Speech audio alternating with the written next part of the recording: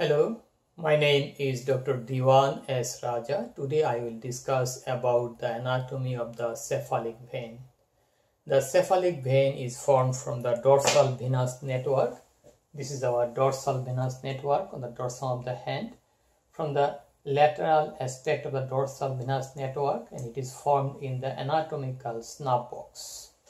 Okay, so cephalic vein is formed from the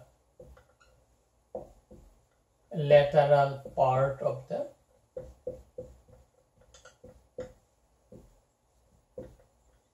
dorsal venous network of the hand.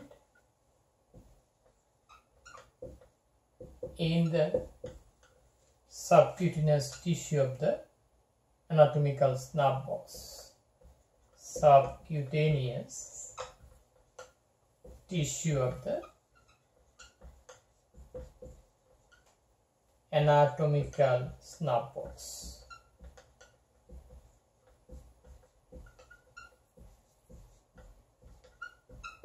Okay we got the cephalic vein formation.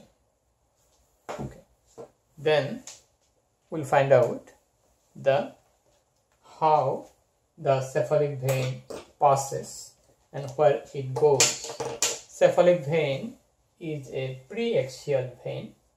It passes along the lateral border of the forearm and passes in front of the elbow joint along the lateral side of the front of the elbow joint, passes along the lateral border of the biceps brachii muscle, goes to the lower border of the pectoralis major, it pierces the deep fascia, then it passes between the deltoid muscle and pectoralis major muscle in the deltopectoral groove and then the cephalic vein reaches the infraclavicular fossa also called clavipectoral triangle and it opens into the first part of the axillary vein.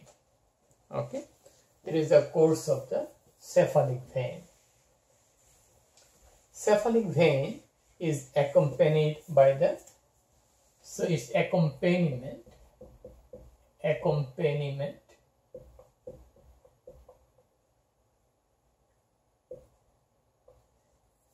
okay accompanying it accompanying what? The the lateral cutaneous nerve of the forearm lateral cutaneous nerve of the forearm.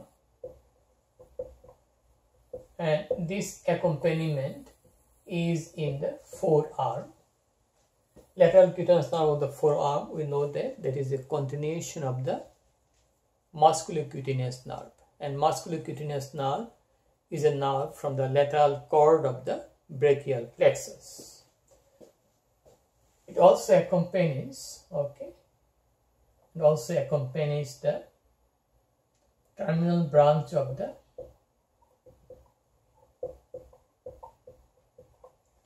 terminal branch of the radial nerve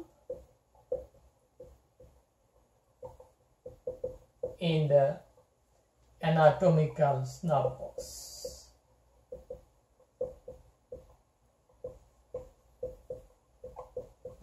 We got that. Now, cephalic vein is very important vein.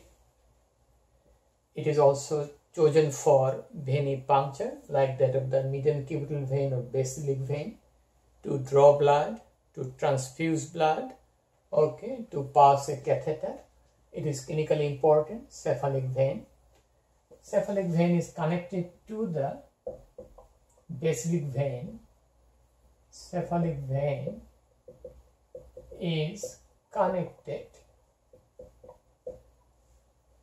to the